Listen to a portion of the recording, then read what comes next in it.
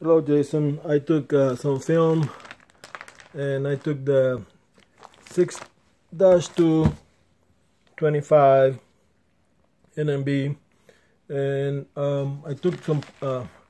polyethylene film and I folded it and I mark um,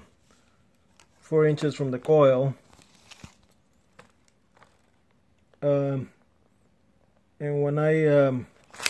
reopen it again. I measure from the end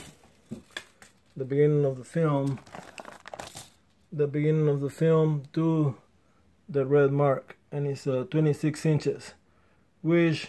that will yield like a 13 inch film. Um,